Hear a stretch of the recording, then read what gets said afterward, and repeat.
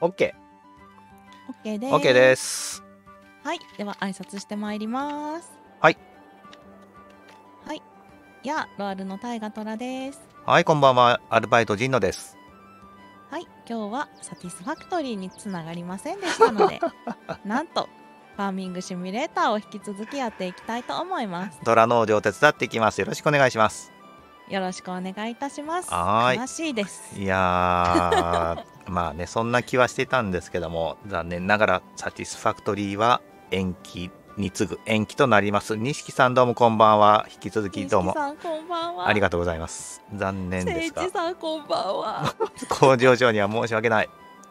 誠一さん楽しみにしてサティスファクトリーができませんがいや農。場にお付き合いくださいお願いします。すみませんで虎の疑問言っていい、なんぞ？早速何？この石灰ね石灰ステーションで買ったやつなんですよあーはいはい。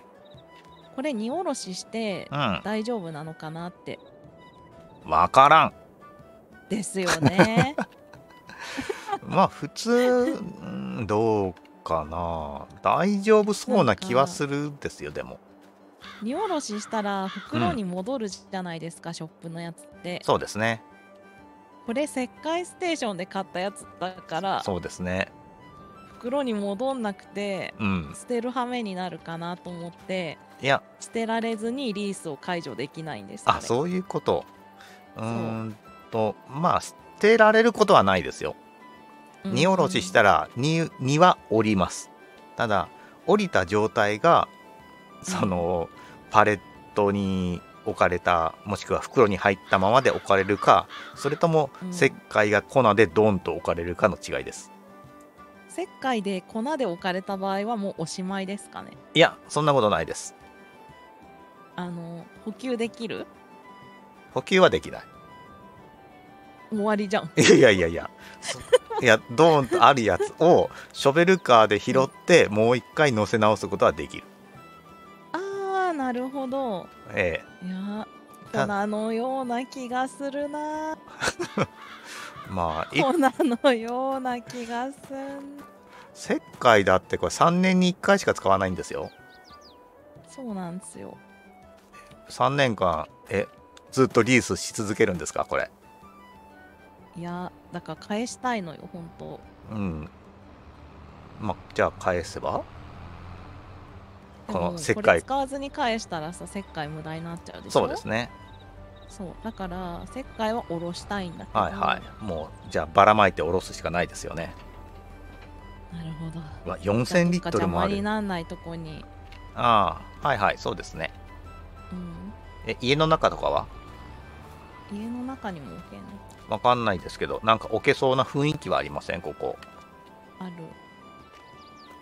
もうそこはじゃあ石灰室にするってこと？石灰室。そうですね。これちょっと邪魔ですね。うん。この。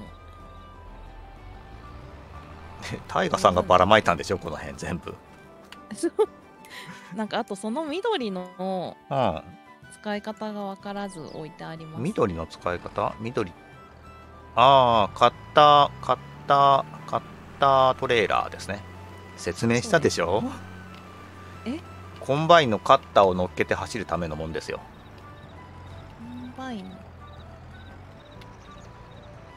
コンバインのカッター収穫機のカッタうんうん。ーあれ今はつけたままで走れますけど作業幅が大きくなってくると12メートルとかなって道塞いで走れなくなるわけですよ。これちょっと入れないや家あそうでしたか。すいませんね。いや入れたんだろうけど出れなそう。じゃあちょっとそっちの辺に。家の裏に。これどっちだこれなんだ？あこの辺に。え雑草取る機械なんか買ったんですか？雑草取る機械ってなんだ？除草機械。あそうそう買った。へえ 使うかなって。まあまあ悪いチョイスじゃないと思います。荷下ろししますよ。えどこで？ここで。はいどうぞ。はい。おあちゃんとパレットで出てくるじゃないですか。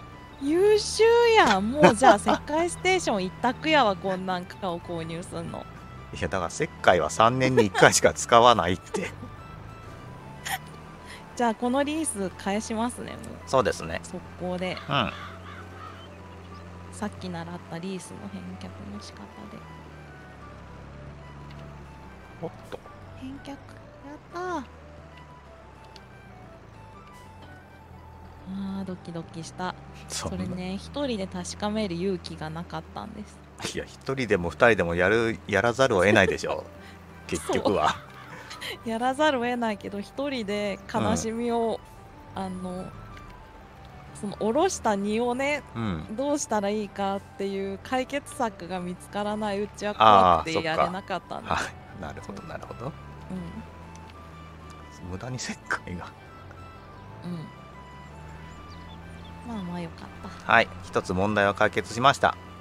はい。ありがとうございます誠一さんが寅さんの成長を眺めに来ました。ありがとうございます。ああそうですね。本当サティスじゃなくサンディスじゃなくてすいません。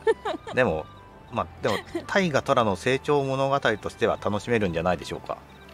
もう成長しかないはず。さんが結局ダメやったんだわらって。わらがついてる。わら。ひどいわ。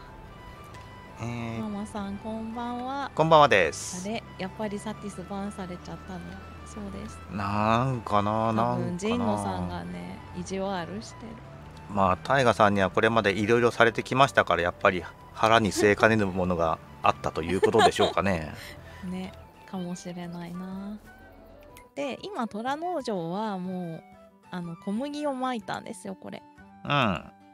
で成長待ちなんですけどでこの小麦は鶏にあげたいんですよね。うん。うんでなんかほんといらん機械を買ってそうだなっていう恐怖心があって。うんでいらん機械は売却したらいいのかなという思いもあり。うんうん。何がいらないと思います？段下がるのかな。いやそ割といい値段で売れたはず。6, そうなんですね。6割ぐらいの値段で売れてたようなそうだったような。で結局このローラー問題をうん。ローラー問題まだロアル建設の農場で解決してないうちに買っちゃったからでしたね。リ リースにすればよかったのにって思って見てました。うん、これはもう売っていいですかね？リースでいいのか？ででもこのローラーは結局かけた方がいいんですか？かけないよりはかけた方がいい。えっとえっとと石を埋め直すことができるというのとあと、うん。えっと畑の成長度でしたっけ？なんだっけ？なんとか度。収穫量ボーナスだ。収穫量ボーナスっていうのがあって、これ最高で100%まで上がるらしいんですね。うんうんうん。で、まあ、もちろん肥料をまいたりとかすると上がるんですけどで、うん。ローラーをかけるとこれが5%ぐらいだったかな？上がるらしい。じゃあまあかけた方がいいそうそうそう。ですねでもリースでいいっていうことか。そうそうそう、まあとますこれ。まあ特に今はあの小麦しか育ててないから、使ううのは本当に年1回かもしくはそのバイトで頼まれた時、ん。でもローラーがけのバイトとかあるんですか？わかりません。見たことないからさ。そうですねないかもしんない。うん。え？とりあえずもうこれは売ってきます。昨日買ったのに1日で売るんですか？うん。だってもう使い終わったんだもん。もったいな。しょうがないじゃんだって。まあね。しょうがないじゃん。えーでもえーでも来年使うんでしょ？来年は使う。じゃあ取っといてもいいんじゃないんです？えいつ売っても録画けで売れるんですかこれ？わかんない だんだん安くなるんだったらさもう早めにいらんもんは売った方がいいよあえーでもいらないものじゃないじゃないですか。使えるものですよ。使えるけどさ価値が下がってくんやったらどうなの？価値が。え意外とそんなシビアな見方するんですね。価値が下がるとか、ほら商売人だもんだって。あなるほど。うん、一応商売人の端くれだからそうですか。まあまあまあまあまあここの社会人だしトラ社会社会人らしさあんまり感じないですけど、まあ本人が言うんなら そうか。まあこの経営者は大河さんですからね、お任せしますよ。どうしますいやアドバイザーとして雇ったのにそんなえ、雇われてるんですか、私。何の報酬ももらってないんですけど。ねかわいそうえーまあお金に困ってるから売りたいっていうならわかる。まあ今んとこは大丈夫ですね。来年使うんだっていうんなら持っといた方がいい。うん、じゃあまあとりあえず持っときますよ。くはい。わかんないし、えー売るんだったらその自家用車売った方がいい。え嘘。本当。飾りやん。飾え飾り？飾り？これでしょ？これ。折りたたみ中は分離できません。あこれはい。折りたたみ途中だったのか。だってこの車使い道ないじゃないですか。あまだ虎乗ったことないのに。えこのまま売り行きますじゃあ。あ売るんですね。いやあはい。使わないっていうんであれば。そうです。あのキャベツもねもう自動売却キャベツじゃねレタス自動売却にしちゃったから車いらないんですよ。え自動売却でいいんです？安いんじゃないんですか？もうしょうがないかなって。しょうがないとは。人手が足りんから ねすぐのすぐ売らなくても貯めておけばいいじゃないですか。あで神野さんが来た時に運んでもらうえなんで私なの？自分で運んでくださいよ。いやもうとりあえずこのうんハウスはうん水汲みだけでも結構な手間だから、あーちょっとタンク小さいですもんね。そうなんですようんだ。からまあもう自動売却でもいいかなっていうところでね。なるほど。だんだんタイガさんの農場が適当になってきてる。鳥が飼いたいんやとりあえず。えとりあえず？そこはもうそこはあのハイタカさんで我慢してほしい。モズちゃんがねコメントにいるんだよ今。え大丈夫ですか？え運転？うん。モズちゃんがね使い方がわからぬローラー畑にとっての美顔ローラー数字の苦手な社会人って言って。る数字全然できてませんもんね。いやえハイタカさんもう帰ってきたんですか？それならばぜひ、はい。うん、えさんがジンの顧問って言ってます。ー、はい。でもゆジンの顧問顧問ですけど言うこと聞かないんですよねこの人。聞いてるよ。そうですか？あ。だいぶ聞いてる。だいぶ。じゃあ。この車売ろそうこの農場で多分一番使わないアタッチメント資材っていうとその車と自家用車とあとさっきのカッタートレーラー、ううんうん。えーカッタートレーラー？えさっき説明しましたよね、あああれね、うん。はいはい。カッター助手席あるけど乗れないんです。そう乗れないんですよね。マルチできるんだから乗れればいいのに。うん。前作からそう。友達がいないと思ってんじゃない？みんなひどいな。マルチとは一体？ああ置いてかれた。すげえ速い。うん。スピードは出ますよね。ボブもこれは持ってないのでいや10歳なら運転しちゃダメでしょ。えこれ120キロ出るよ。えーそんなに？まあ、うんまあ普通いいや今120キロ出てるよ。や捕まるタイプ。やばいやばいやばいやばい。保安官が来るぞ。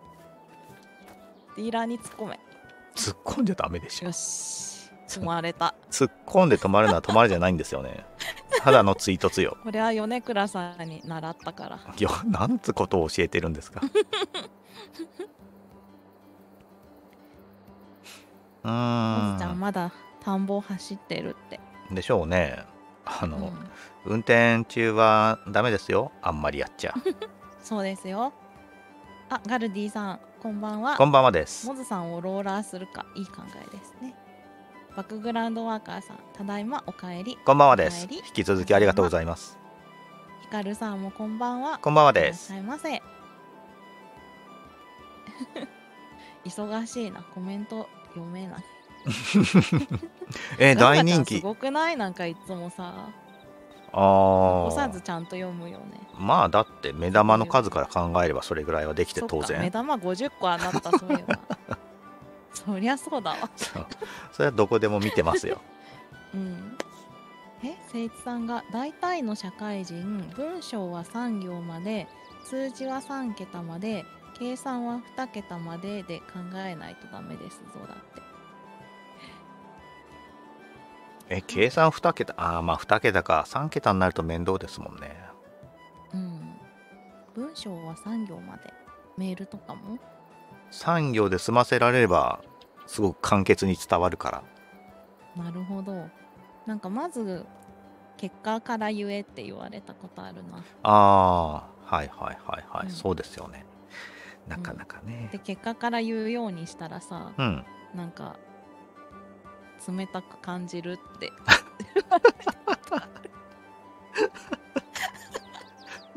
それ使難しいんだよななんか。なんか男の人はね結果から言えって言ってなんかうん。女の人にそれやってたらん。なんか冷たくないって言われて、あーあーなるほどね。なるほどね、まあ。難しいんだよなと思ってイラッとした。それは確かに、うん、女ってやつはって言われそうな感じですけれど、ね。でもシチュエーションもあるじゃないですか。結果で、うん。結果から伝えていいシチュエーションと、うん。あのおしゃべりを楽しむっていうような時に結果だけバーンって言ったんじゃ冷たいなって言われるのもわかる、うん。仕事中におしゃべり楽しんでる場合やないよなるほど。そうか。やっぱ。そう。だったらそれは相手が良くない。うん。よしこれ売ろう。はーい。2万2876円で売れますこのピックアップトラックおー意外といい値段で売れるじゃないですか。うん。だって新品だもん、そうですね。今初めて乗ってガレージにぶつけただけしかしてない。あいやぶつかったから値段下がってんじゃないんですか？マジ？ごめん。本当。走行距離何キロっていう新車も同然。あでも修理ってできないな。よしじゃあ売却。はじゃあな。増えたよし。売っちゃった。うん。えいいでしょ？う乗らないでしょ？問題ね。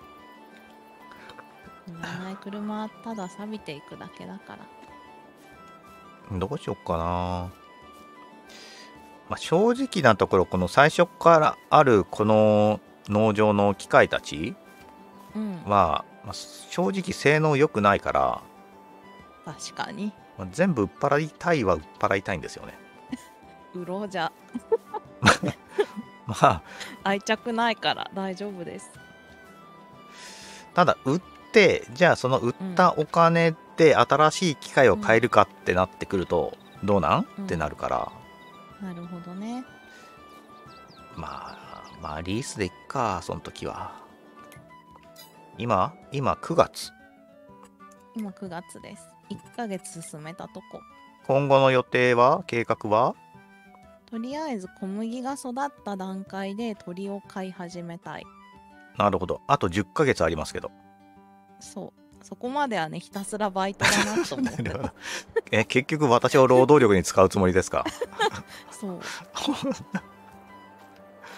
で もまなんか、はい。その金策がさ結局あ可能だったら、うん。時間飛ばしてうんうん。進めちゃおうかな。うーんまあまあ基本バイトですよね。ですよね。農作業しに来ましたし。70番のじゃがいも？えー、2人で？絶対嫌だ。つない嫌です。絶対嫌だ。嫌です。あーもろこしもろこしいいんじゃないですか？68番もろこし。やりましょうか。うん。広いよもう68番も。どれ？68この番広さに絶望して一人でやってないんだもんだって。なるほど。でも70と同じぐらいの広さありますよこれ。えでもじゃあここでじゃあやらないって。じゃあもろこしもやめようってなった場合 どうすんです？時間を進めるしかない。どうまあせやろうか。まもろこしやりましょう。あちょっとやりましょうよ。うん。じゃあ受けますね。はい2人。次リースしますね。はーい。はい。あ2人いるんだから行きますよ。そうですね。トラもじゃあコンバインによってあジンノさん借りたやつ使っていいですよ。あわかりました。あっちのがいいやつだと思う。わーい。わあいいやつだ。でこれ最あ。最初期のやつだもんこれ。めっちゃいいやつだ。でしょ？広い畑なだけはありますね。ねすご。いいやつ貸してくれんですよ、助かる。うん、あ魔王さんもこんばんは。こんばんは魔王ですさん配信終わったのかな？さっき配信してたとお。お疲れ様です。でこれカッタートレーラーどうやって乗せるのかしら？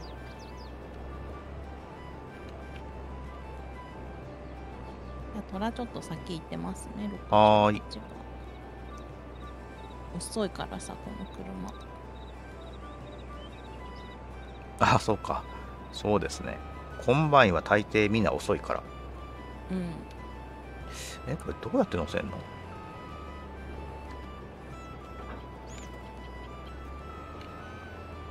うーん？う困ってますね。ーん。カッタートレーラー私使ったことないんで使い方がわからない。あじゃあ学べますね今回。そうそうでそうですね学びを得ようここで。ん あれ？誠一さんがバイトをバイトに出す派遣会社だって言ってる。いつの間にかそんな。二重派遣は違法ですよ。そうなんですよね。まああのファーミングシミュレーターでは日常茶飯事なんですけど。そうですね。孫受け。ボブの孫受けなんでそもそも。えまたボブの畑なんですか？うんそう広いのは全部ボブんちいや68広いな。ぁやりがいですね。えー、っと。これか。待ってますか。冷やはかしに行く？トラ。いや働いてくださいよ。あれ？とこれ邪魔だな。一回どかそう。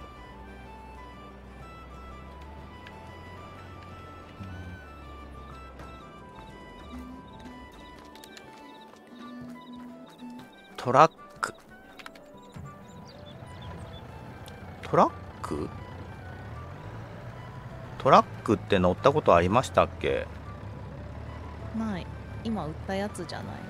あれはトラックではない。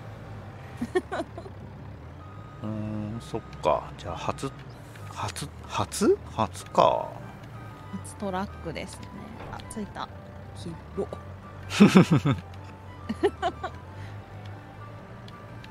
よいしょ。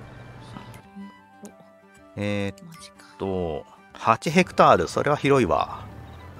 ジノさんが長編で枯れって言ってたそういえばええ。あの、4辺から狩るのはやめ返しやる？もちろんですよ。ちゃんとやってくんないと。切り返し方式でやる？ええ、それが基本ですよ。4辺から買っていくのは、ちょっと変態的ですよ。マジ？トラック運転経験かっこ工場でって誠一さんがそうだ確かにああ、確かに。サティスでやったじゃないですか我らやりましたけど、タイガさん脱輪させてましたよね。うん。確かそうだ。これは当てになりませんね。うん。タイガさん、あの、私リセットできないっぽいんで、リセットさせてもらえません？あそのさ権限与えるのどうやんですかほんと。ああ、えっと、エスケープキーでメニュー出してずらずらずらって、で、下の方に家マーク、家の中に人間が入ってるマークあるんですよ。あはいはいはいありましたここで、ジンの楓に、えーはいはい適当に、マネージャーに昇格？ああ、それでもいいんだったらお願いします。マネージャーに昇格すると、やりたい放題できますよ。いいよいいよジンノさんだから信用してるようわーその言葉が重い。なんだえーっと、だからリセットできなかったのね。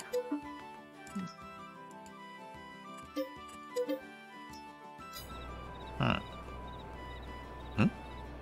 ちょっとこ散ら散らば散らばってるウエイトが邪魔なんですよね。絶対なんかそっち面白そうだから見に行こうトラ面白くはないですって。ちらっと見に行こうかな。これか。いやでもかかかか動き出してんな。カッタートレーラーをどう使っていいか未だに分かっていないんですまずつけるところから。えガルディさんがね元4トントラックドライバーですだって。4トン？4トン？ETS2 で大型トレーラーやってます。あ ETS2 ってユーロトラックシミュレーター。へえ。トラック運転する。そうそう。あれもちょっと面白そう。やってみたい。うーん。トラック運転するだけなんですけどタイガさんはとんでもないことになりそう。いえいえそんな何の面白いこともできませんトラはしがないトラなんで。しがしがない虎とは？誠一さんがジンのかっこバイトマネージャーに昇進。おめでとう。マネージャーなのかバイトなのかいまいちよくわかんない立場ですねとジンノさん苦戦してるからトラ頑張って収穫しよちょっとまマジわからん。マジカッタートレーラーの使い方誰か教えてほしうどうどうやって乗せんのこれ。ファーミングシミュレーターやってる人が少ないからきっあ乗っと有た識者があんまりいない。あびっくりした。近づけば勝手に乗るのね。オッケーオッケー。理解誠一さんが横転とか大ジャンプとかするトラックが見れるよねだって。えそんなことまでできるんです？怖っ。えそれシミュレーターとしていいの？事故じゃん。あ？アルディさんが元で千馬力のエンジン積んでみてください。飛ぶぞ。千馬力。馬戦闘分ってこと？そうですね。やば。戦闘戦闘分もいまいち想像できませんけど馬戦闘分ってなんか昔の墓の副葬品みたい。えはに埴輪の馬的なやつ？そう。せめてそこはちゃんとした馬であってほしいかな。魔王さんがスノーランナー面白いよ。そうそうあれも気になってんですよねややりたスノーいランナーは何ですか？スノーランナー。そう。あのトラックを運転して雪道をでうん。木を切り倒すのかな？それとも荷物を運んだりするのかな？それもそうトラックを運転するゲームですけどユーロトラックシミュレーターは普通に道を走る。まあその普通の道っていうのはちゃんとした日本の街だったりとかアメリカやヨーロッパの街だったりするのが楽しい。うん。まそうスノーランナーの方はその何？荒れたそういう雪の道とかあと、まあ、半分水とか泥とかみたいなところを無理やり走っていくそして仕事をするっていうのが楽しい的な。うん。事故る未来しか見えない。その事故った後のリカバリーなんかも楽しいんじゃないんですかね。ああなるほど。そういう要素も。うん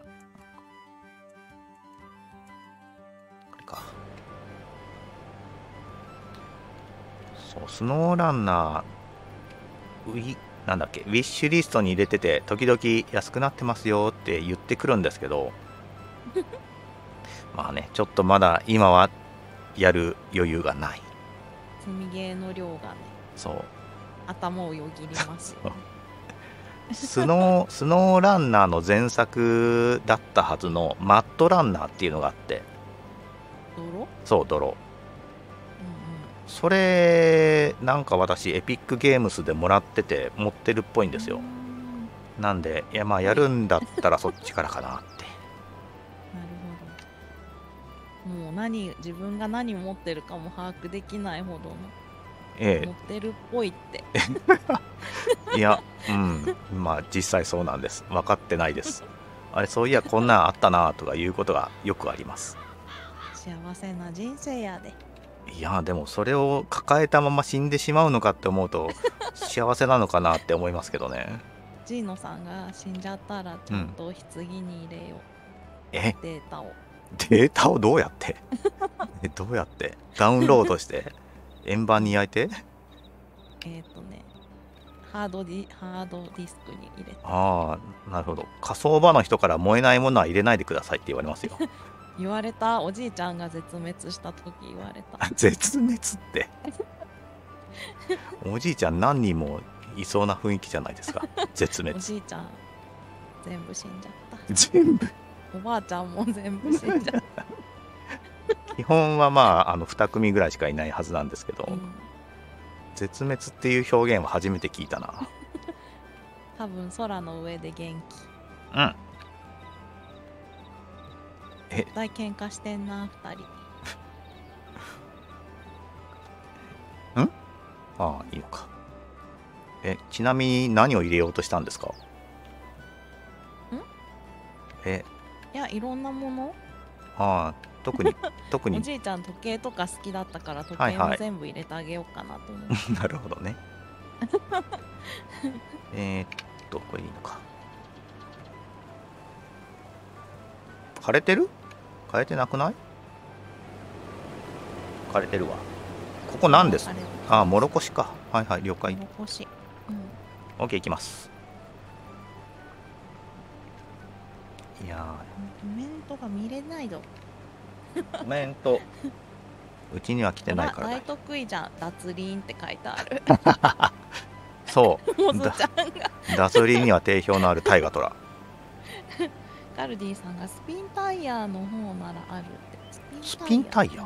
そんなんもあるんですか？知らない。うん。あやおさんがこんばんは。こんばんはです。ランナー持ってますそうマットランナー。でもマットランナーあってもスノーランナーやりたくなりますよね。新しいから。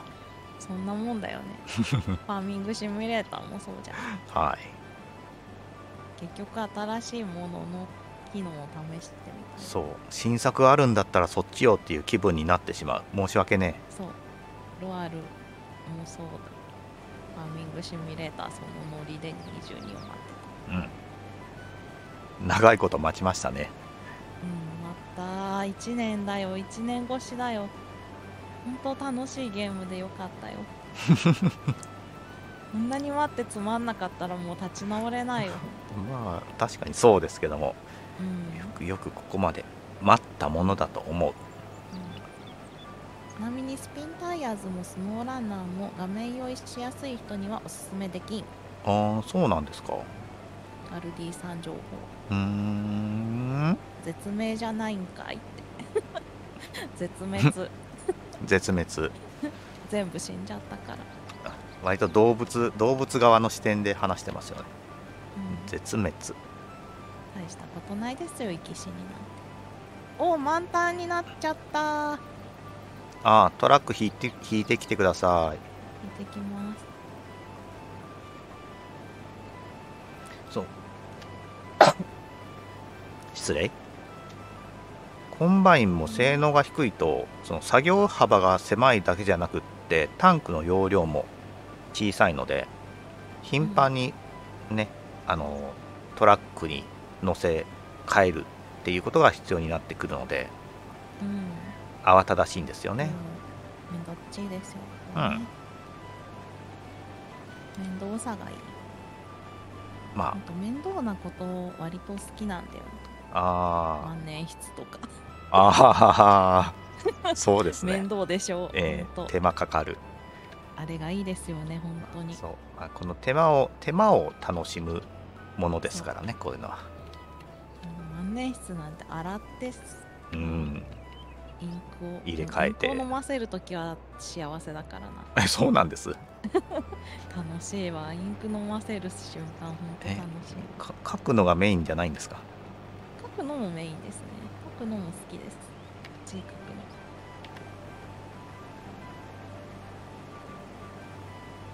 いろんな色のインクが今あるじゃないですか。みたいですね。うんもうそれは楽しいですよ。いやーもうね、はい。インクだけやべえからマジ数。うち。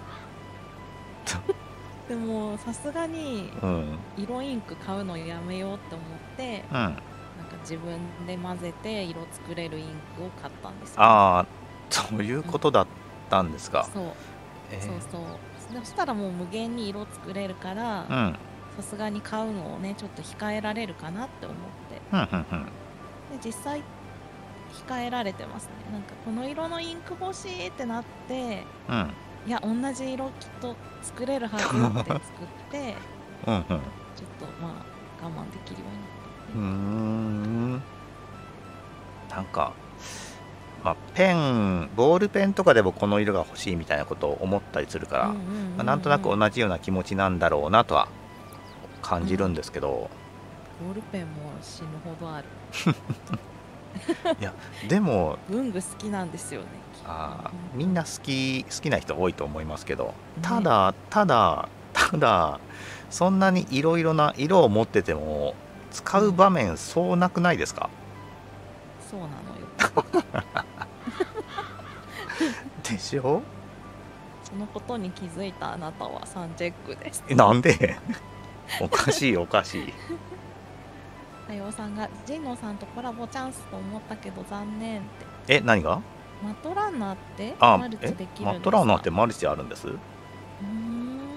えコラボジンノさんなは見てるだけって言ってる。見てるだけ？何が？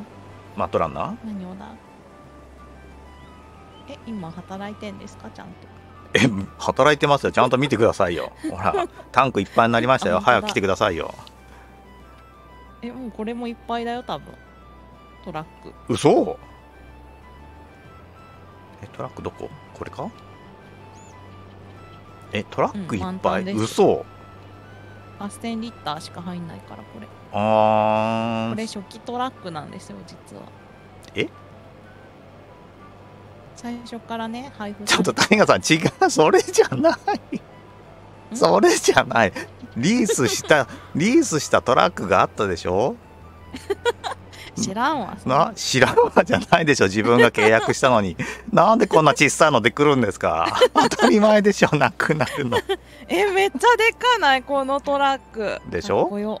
じゃあ行くわこれで。えかっこよ。マジ？えかっこよ。超でっかい。すごい。すこれ欲しい。うんどうぞ。すごい曲がれるかな。感動してるけど。内輪差で当てる予感しかしない。ちゃんと走ってますね。えこ83キロモデル。逆にこの小さいトレーラーどうすんのこれ？それヘルパーに運ばせよ。そああなる。うん。いやどうせ私暇だから行こう今爆走してますと。えんな道で83キロ出して走ってるから。絶対脱輪する。大きい車で。タイガさんが運転できるわけないじゃないですか。ファルコギーに思い出してください。曲がるぜ。曲がれない。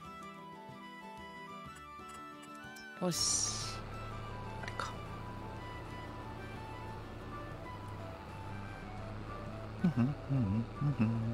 すごいなこんな。輝いとる。タイガさんが持ってきたトレーラーはくすんでます。あすれ違ってる。ジャンプしてる。めっちゃジャンプしてるあんなでっかいの めっがちゃジャンプした。怖っ。そうトラックは。でっかいのもあるんだね。トラック馬力出るしスピードも80キロまで出るしでなかなかいいアイテムですよ、欲しい、高い。神野さんみたいに借金しないとか、ちょっとその借金事情を あの YouTube でばらさないでほしい。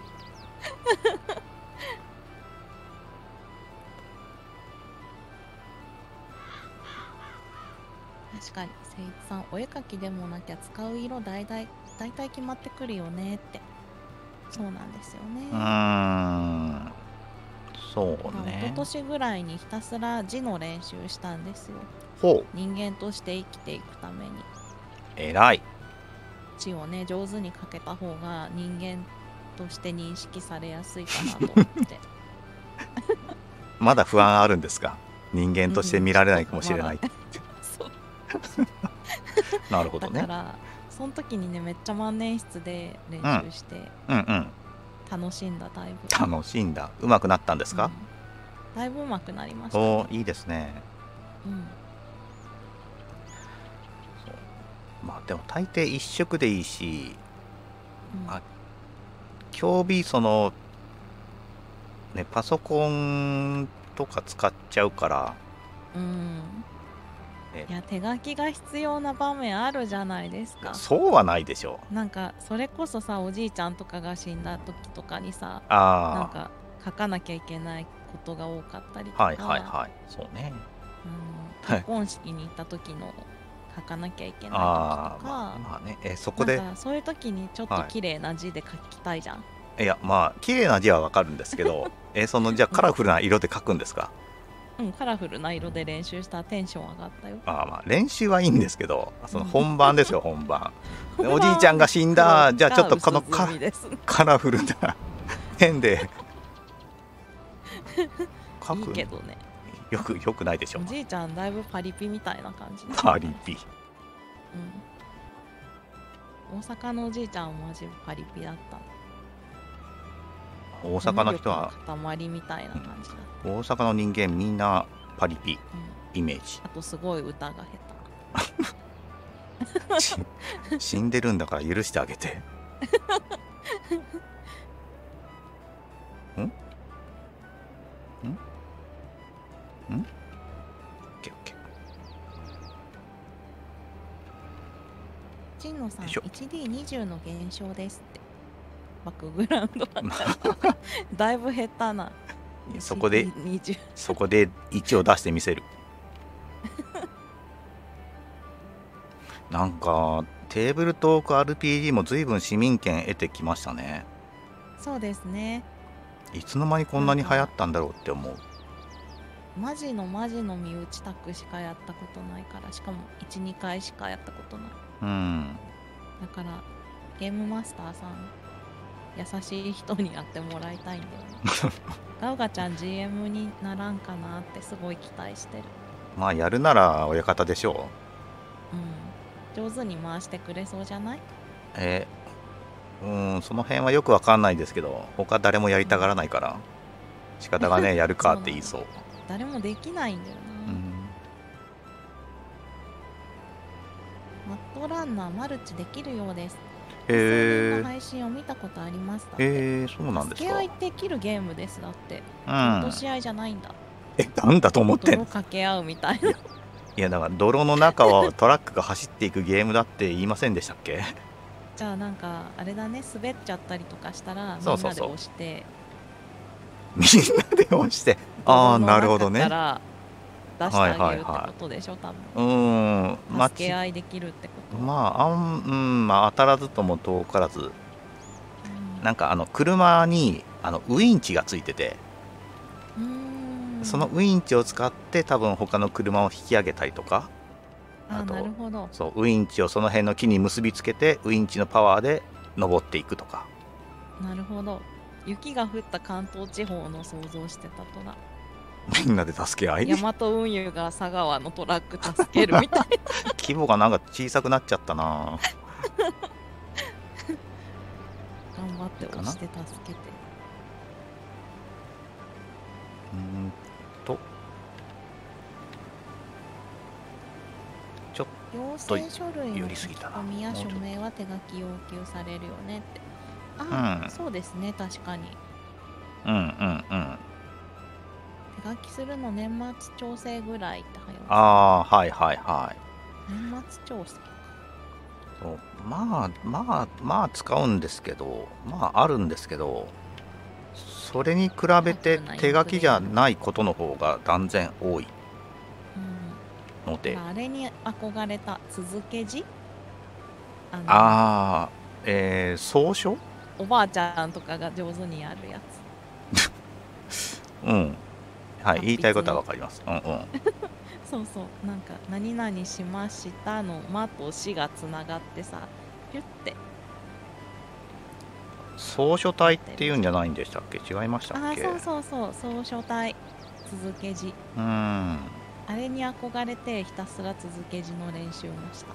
まあ昔の人も結局そうやって学んでいったんでしょうね。うんかある程度ルールがあってうん。でもまあなんか個人のセンスによるところも多いって書いてあった、へえ。えじゃあ他の人からは読めないっていうこともうん。あるんじゃないんですか？ある程度のルールはある、うんうん。うん。一般的みたいな。うん。まあ書けるとかっこいいですよね。ただ多いですよ。ただただ今の現代人にはちょっと読み解読が難しい気がするうん。そうそう。なんか海外でも筆記体読めないっていう若い子多いって言あーたらそっか。そうですね。うん、おばあちゃんとかが使うやつっていう認識らしい。えおばあちゃんなんだ。筆記体とか。うーん。続け字は。そう。学校にこのアメリカの本場の先生が英語でやべやべやべあえなんでもない。脱輪した？うん。うんトラックの荷台を転がそうとした。あ脱輪よりやばい。あそこでこけたら中身が全いやそうでもないのか？いやダメになるでしょ。出ます。うん。こけたらリセットだから中身パーですよ、罰金ですよ。ね。悲しみを抱えて生きることになるまあ大河虎農場だからいいですけど。やだやだ。もうマネージャーですよ神野さん。え、まあ、いつでもやめられる身分なんで。一連卓勝今日この言葉言いたい日だ。さっきもそういや言ってましたね。そう。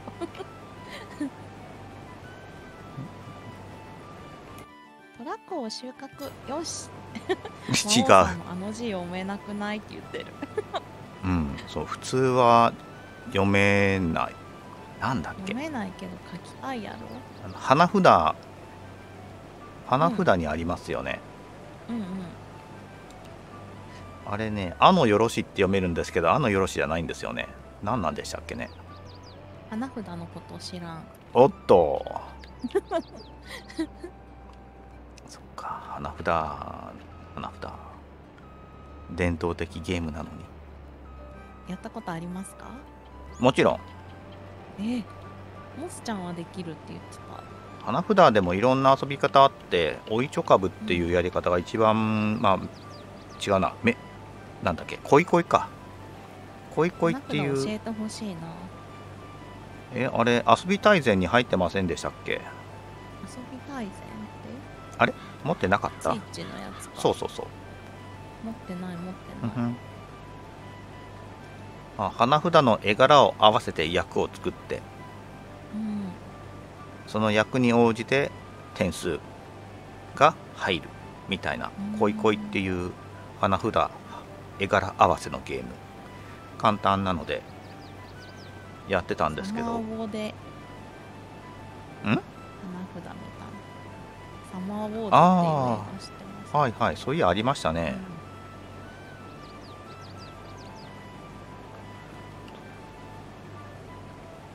そう花札その花札を作ってるのが実は任天堂だったりしたんですよね。うんえー、そうなんだ。ええ。ですよね。花札のパッケージの表に任天堂って書いてあったはず。へえ京都。多分。えいやどこだ、えー。いや違うかな？さすがに違うか。でも花札を作ってるうん。トランプと一緒でトランプを作ってる会社いろいろありますけど、うん花札を作ってる会社って言ったら任天堂がまず一番に出てくるんじゃないかしら。そうなんや。うん。他見たことないから。ニッチな商売。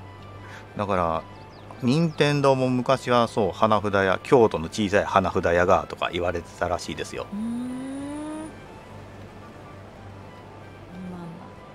今では。銀河みたいなこと ちょっと借り残してるとこあるまあ通常営業通常。営業。ん？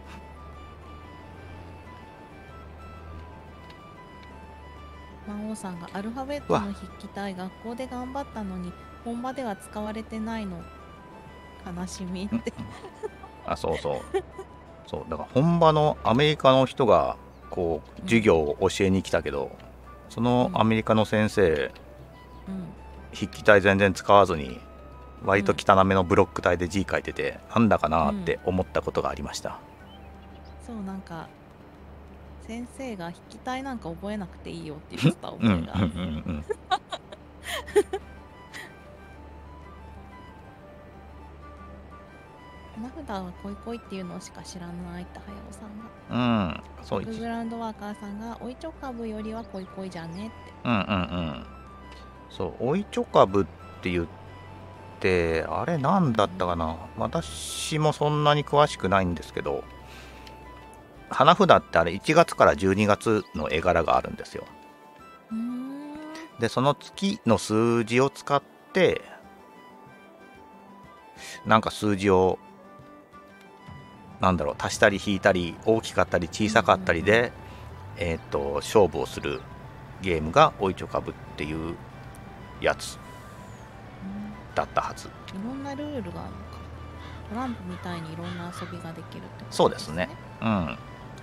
でもそう恋恋とおいちょかぶ以外は全然知らないな。なんかあるんですかね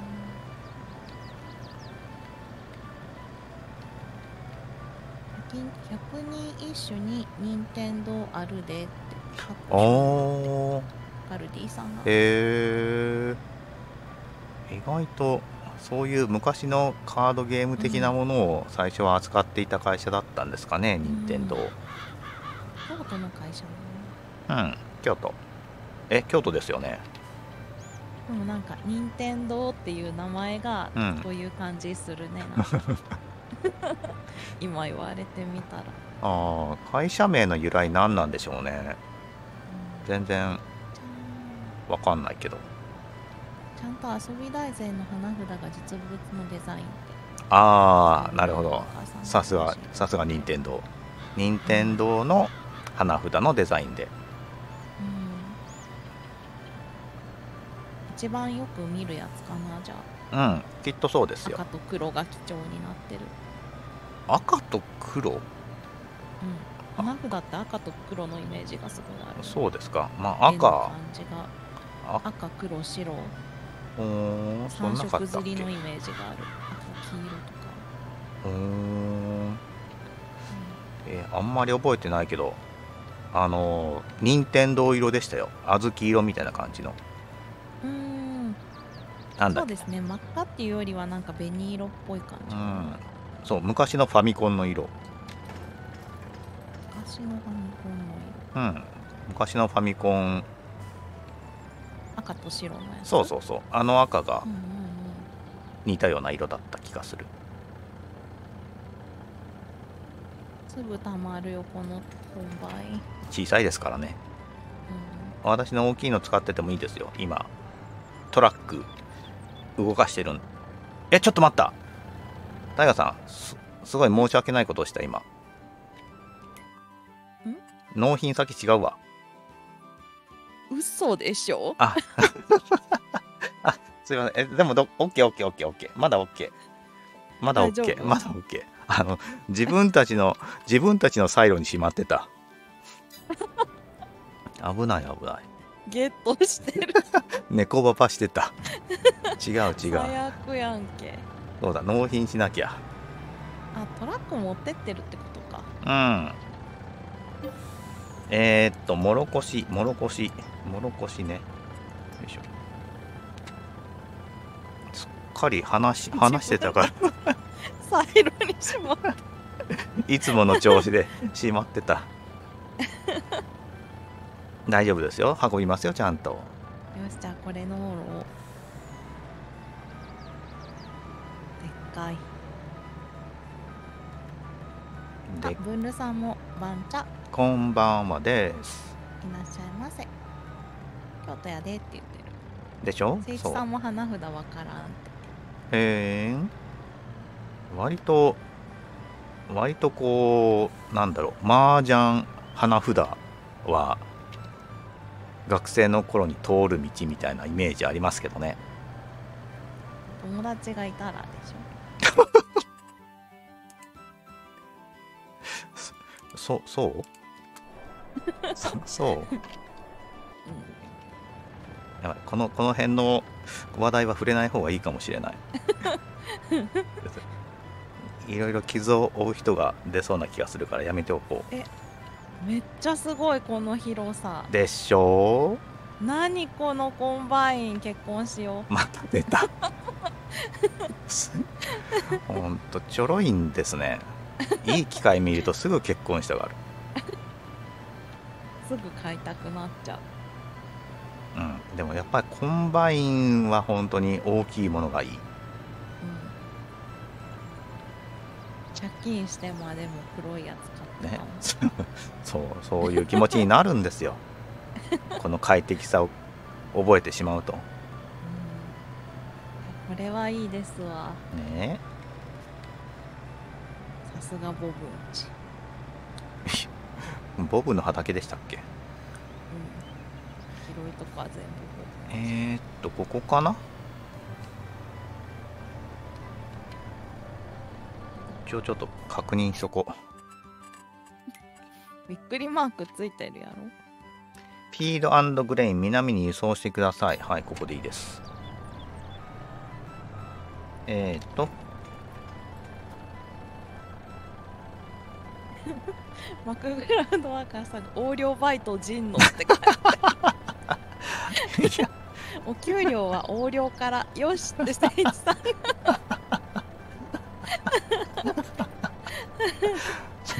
違うんです。これは上司の命令なんです。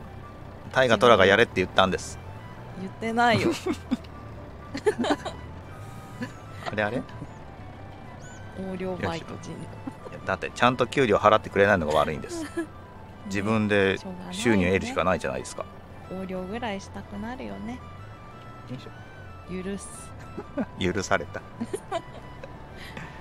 将棋とチェスは覚えたけど麻雀と花札は分からんかったわって誠一さんが。あー将棋とチェスはなかなか硬派ですね。チェスは私未だに分かりません将棋も分からん。未体験将棋。将棋は難しい。うん。3月のライオン読んでてもさっぱりわかんない。ん？あん？ん？えー、っと排出口の選択か。あはいはいれさっきの枠で結婚してませんでしたっけ？って誠一さんに言われ重婚だ重婚いうん。さらにモズとも結婚している。や結婚するって言ってるだけで相手は了承してませんしね。そう。ベールローダーは結婚に了承してくれない一方的な片思いです。そう。プロポーズが失敗していたなあれ ああだって相手だって結婚するんだったらそれなりに収入がある人を選びますからね。うん。そらじゃダメか。見てくださいよこの確かに。このお金。収益化してないもんな。えそこ？ダメか。ロワールの収益化の前にこの大河虎農場をもうちょっと収入増やしてくださいよ。でもトラック売ったら10万円になった。もうすぐ最初に戻れるやんああそっか。最初15万円だったから。うんうん。違う。ん？ん？これか。いやーこんな小さいコンバイン働かせるの？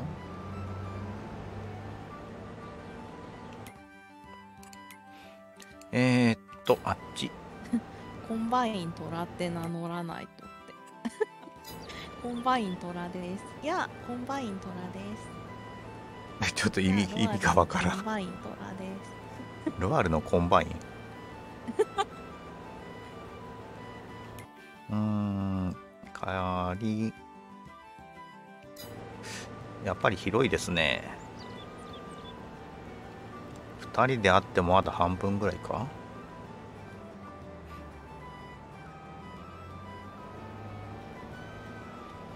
ちょっと気づきにくいですけどここにここにタイガさんの借り残しがあります。気づかなくていいのよ。アタッチメントがに物が積まれてる間はん？どういうことだ？ん？ん？アタッチメントに物ん？うん？うん？あこれ100%やんけ。そう。トラック待ってたのよ。なるほどね。あれトラックどこやった？神野さんが置いたよね。ああっちだ。いやちょうどタイガさんのからね書き込まれないんだよいやタイガさんの影に隠れてたちょうど。あらまえこれ遅っ。トラんちのコンバインに悪口よ に20キロでよくここまで来ましたね。もうそのコンバイン売ろうかな神野さんに悪口言われたから売ろうそ人のせいにしないでほしい。自分が使いたくないだけでしょ。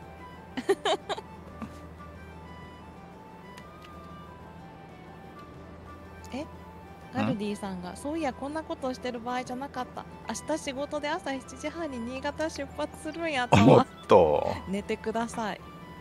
今すぐあの気絶する勢いで寝てください新潟変やん。また運転かな、でしょうね。朝早くから。うん。大変です。540キロ日帰り出張の旅やったわ。うわ。前もそんなこと言ってませんでしたっけ？大変や。超いい仕事大変や。までもなんか部屋に詰まってるよりは楽しいのか。あどうなんですかね。出張の方が。あんまりたくさ車でって言ってる。んうわ 地獄だった。ただの地獄だ安全運転で行ってきてください。ー気をつけてくださいね。ね。虎の事故を胸に刻んで。真似ないでくださいね。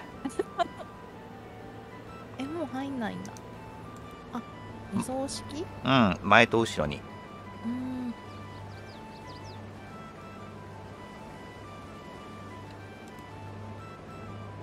ジンノさんこっちある？うんいやいいですよタイガさんのこのガタガタなところを直していきますよ。優しいかよ。尻拭いはいつものことです。魔王さんが運転は地獄って言ってる。うーん。楽しいけどね。540キロはちょっとやだな。100キロぐらいまでだったら楽し。いこう周りに周りに何にもないんだったらもうひたすら走っていくのもたん。楽しいんですけど、高速道路とかね、うん、街中だったりとかね大変ですから。街中やだ嫌ですね、先週は富山往復で500キロ。明日は千葉往復で540キロやで えま 千葉か。え毎回旅行気分ですね。千葉なんピか美味しいもの食べて帰るといいですね。ピーナッツ味噌。ピーナッツ味噌美味しい。食べたことない。ピーナッツ美味しいわ千葉のピ名物ですね。ーナッツう。ん バックグラウンドワーカーさんが「せやかって工藤ワイは5時半起きやのに 昨日1時半まで見てたで」何やってんすか？ありがとうやけども。なんでせやかて工藤が出てきたの？あり大がとうやけども。飽きまへんわそれやったら。飽きまへんわ。だって5時半起きってことは？4時間？うん。か4時間弱でしょ。メダメダメですよ。それはダメ。えー睡眠時間足りてませんよね。明日の朝大丈夫ですか？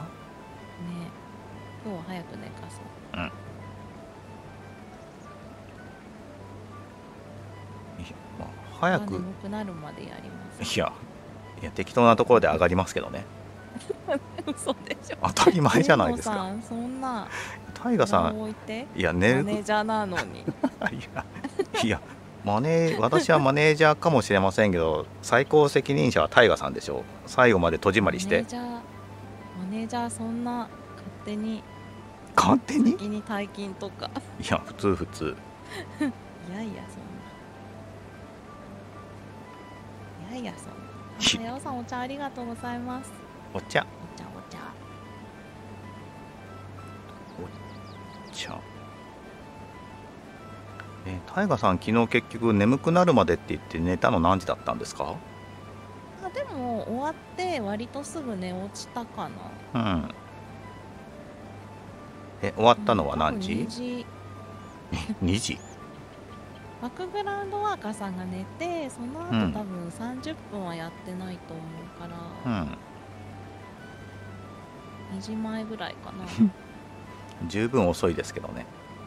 結構長いことやっちゃったなって思う、え。本当はなんか、まあ、1時間ぐらいで眠くなるかなと思ったらもうん。う興奮して寝れなくて、楽しくて。結局寝れねえなこのゲームはと思いながら、ー、はいはいはい。まあねままあしたね。わかるわかる。そう。うん、強制的に寝たって感じですね。そう割とこう見てるだけだと単調なゲームなんですけどやってる方は意外とこう気を使ったりとかするところも多いし、うん、なんせ何より楽しいんですよね。集中してやっちゃっちゃうんですよね、ニコニコニコニコしながらやっちゃってさ全然寝れないの。楽しくて。寝る時に選ぶものではないか。そうですね。でも見てる人はこれ見て眠くなってもいいはずなんですけどね。うん、ああこれやりたいし自分が寝落ちるため配信なんだけど。寝落ちるためだったら 計算ドリルでもやった方がいいと思う。1問目で死ぬな多分。寝るっていう。爆発して。や。永眠だな多そんな死に方あるんですか？死因計算ドリル。分 そう計算通り辛いなね。計算ドリルをしたばっかり。にいやでも社会人はほら2桁の計算があってさっき言ってたじゃないですか。うん。無理だね 社会人無理だ。社社会人社会人を気取っていかないと人間に紛れて生活できないんじゃないんですか？計算機。い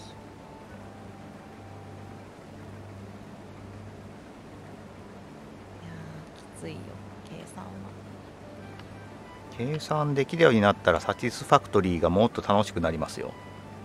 うーん。まあジリノーさんとか赤ちゃんと一緒にいたら一生いらないかな。いや他人任せにするのやめてくださいよ。自分でできるようにならないとでしょう。ん。でも一人だと生肉も殺せないし。う いや結構バチバチ殴ってましたよね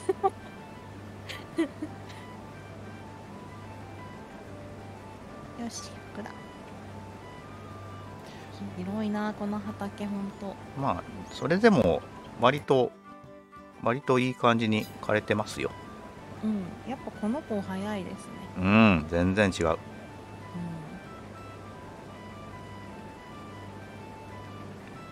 えーお金貯めてコンバイン。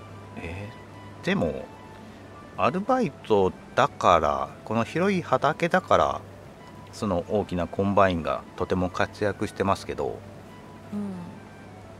あのちっちゃい畑だったらね、うん。そう。タイガさんにはこれでいいってことですね。うんまだ買えないしな。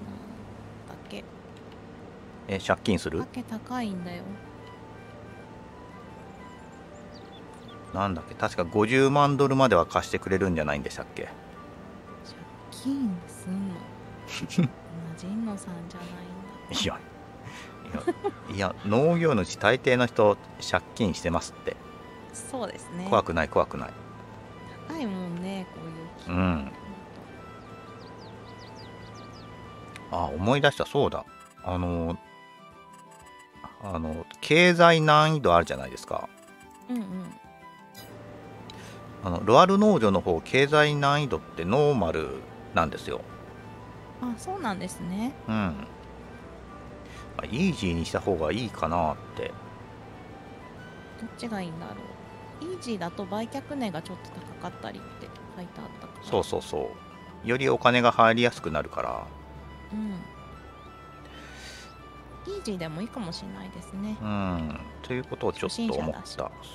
そう。そんなに頻繁に週に1回しかやってないから、うん？ちょっとタイガさんタイガさんトレーラーいっぱいじゃないですか。気づいた？じゃあトラ行ってきますね。えもういいですよ私乗ったから。いいよ。トラが行くよ。もう今更ですよ。いいですよ。面白いかもよ。って何？なんなん？気づいたんなら言ってくださいよ。トイレットペーパー使いっぱなしでほったらかしにする人みたい。あとちょっとで満タンかなーって思ったけど、うん。まあまあまあまあ。何がまあま満タンのと満タンにした人が行けばいいかって。あいや最初っから満タンじゃなかったですか俺。ガ嘘。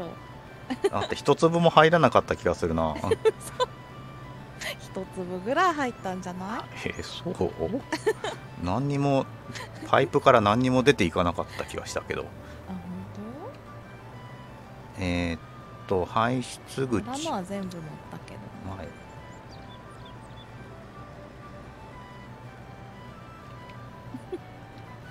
あしげさんがサティスではないって言ってる。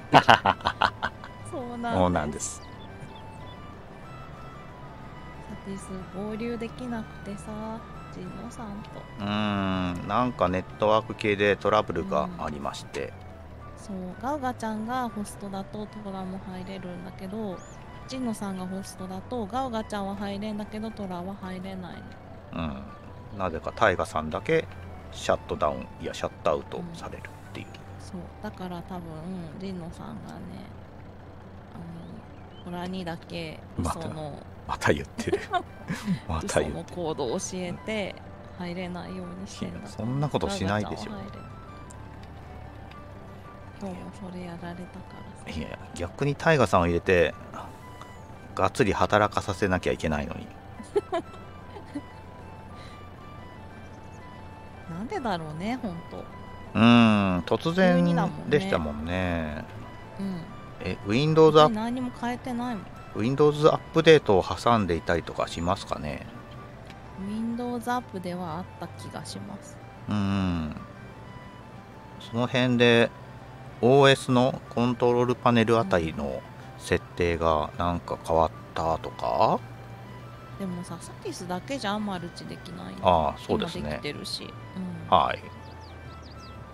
不思議。不思議。しょうがないね。いやーそうサティスファクトリーもちょっと今日今回はあの新たなステージに行く予定だったんですけどうん。まさかそんなことになろうとはですよ。ねドローンに縁がないねドローンまた計画伸びて多分6月ぐらいになりそう。そうですね。納期が。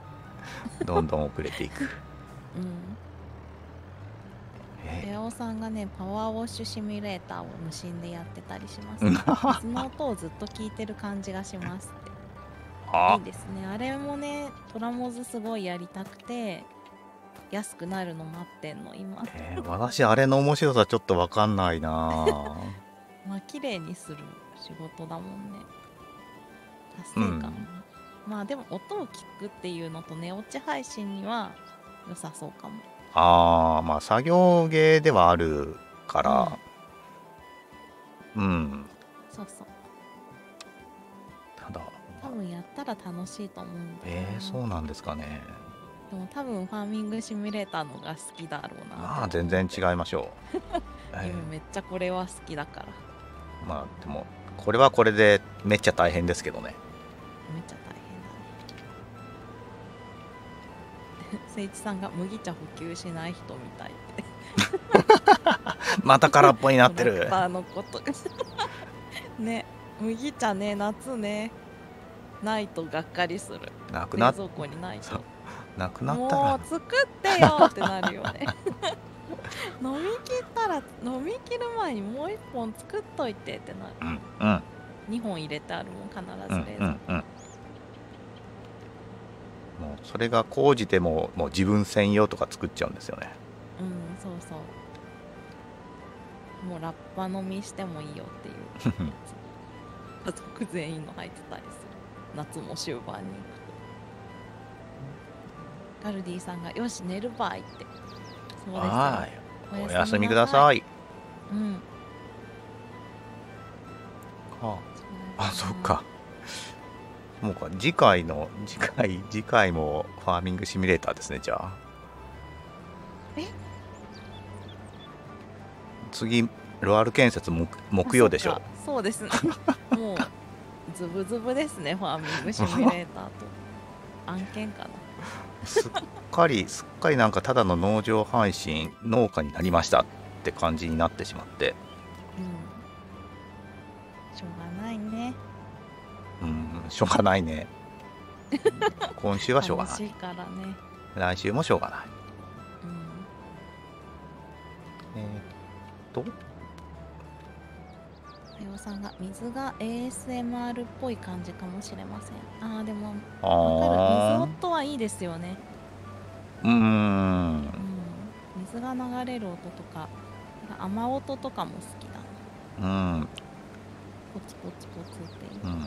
そう。ありますよね。YouTube にもそんなものが。うんうんうん。寝寝落ち用みたいな感じでありますけど。でもパワーウォッシュシミュレーターの水音はまた違いませんうん、そうなんだ。ジャーって感じ。シュワーって感じ。ええ。本当に勢いよく水が出てきて物に当たる音。うんあれはえーどうなんだろうな。わかんないな。やってみ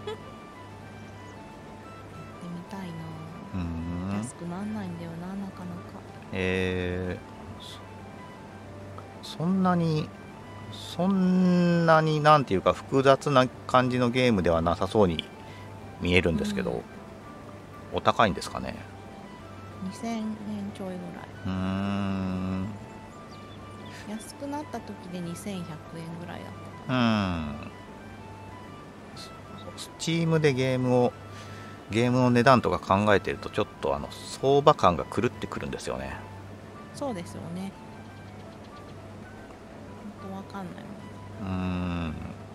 安いものだと数百円で買えたりするじゃないですか、うんうんうんまあ、セールで9割引きとかあったりもするし。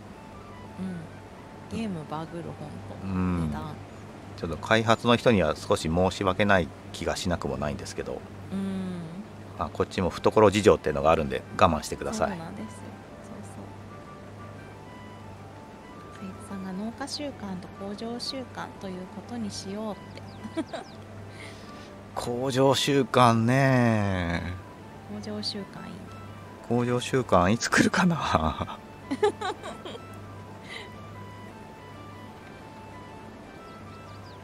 ホワイトノイズと似た感じかも。ああなるほどね。ホワイトノイズってなんだろう？あホワイトノイズえーっとなんだろう。何にもない静かな環境だけどなんかさーっていうような感じのノイズ。ああはいはいはいはい。ノイキャン入ってないガウガちゃんのマイクみたいな ああかも。そうかも。そうかも、うんうん。そうそうそう。あと任せるか。いいですよこの一列。そっちが広いんだから何とかしてくれるでしょ。そうか。そうホワイト。他の配信者見てると掃除を楽しんでる感じはないですね。あそうなんです。適当に掃除しながらおしゃべりを楽しんでるイメージ。なるほど。あ雑談のお供みたいなあはいはい。雑談してる間ちょっと手持ち無沙汰だからみたいなうんうんうん。やつか、なるほどね。なるほどね。えゲーム性低いのかしら？ね。そういう感じか。うーん。え一人用ですよね？いやマルチ。えあんなんマルチ？8人まで。あんなんでも8人も？意外でしょ？ええ。いやもっともっとなんか考えるところあるんじゃないのっていう気がしてしまいますけど。うーん。マルチならではの要素があったりするんですかね。うーん。めっちゃ広いマップあるとかかな。ああはいはいはいはい。うん。そう。うーん。まあそう8人まあ最大8人揃ってうん。ま掃除業者。いやどうかな。え盛り上がるの？それ。雑談配信8人で。まあねただ雑談するよりはあった方がいいかなっていう、うん。うんお酒を飲む時のつまみみたいな感じ？うん。うん高圧洗浄機だから PVP できんじゃないですか？そういう要素は。フレンドリーファイヤーありみたいな。え なんかそうなっ人に向けてやったらさなんか爆発するみたいな。爆発はしないでしょうけど。体に穴開いちゃうとか。えおまさかのグロゲーだった？違うの？いやまあ高圧だからいやそこまで高圧はならんでしょだったら洗洗ってるもの全部穴開くじゃないですか穴開けゲーじゃないんですよね。ほんと水の力ってすごいじゃん。そうそう。なんか鉄を切ったりするとかいう話を聞きますね、うんうんうん。そうそう。陶器に穴開けたりとかもできるからさ。人間なんてちょろいかなって。え今ほうきに穴を開けるって言いました？陶器あ陶器。あ失礼失礼、うんうん。ほうきかと思って。なんでそこでほうきをチョイスしたのかな？ああの掃除用のほうき？あ掃除か。よくあのほうきの先っぽに穴が開いてて紐を通せるようになってたりするじゃないですか。ああしますね。わざわざ高圧水流使ってそ それで穴開いやキリでしょそれは。もうキリ使おう。けてほうきに穴を開けるって聞こえたからそうやって使っ作ってるのかなって想像が一気に。いや。うんバックグラウンドワーカーさんそろそろ寝ますわって。はーい、まあとても偉いです。昨日昨日も昨日はかなり遅かったですけど今日も早いとは言えませんが、ええもうよく寝てください。ありがとうございます。ありがとうございました。もろこしの収穫を見守ってくださって。よそんちの。考えてみればこう傍目から見てるとパワーオッシュシミュレーター雑談もフファーミングシミュレーター雑談も変わんないかもしれない。変わんないですね多分。あんまり人のこと言えなかったなこれ。うん。ちょちょちょちょちょ。はいはいやると思った。止まれなかったなコンバインは急いや絶対最初から突っ込む気でいたでしょ。にいやいやいや止まれるかなあのスピードで止まれるわけがない。米倉さんを見習うんじゃない？びっくりした。おずー。おつおつこんばんは。ワンワンは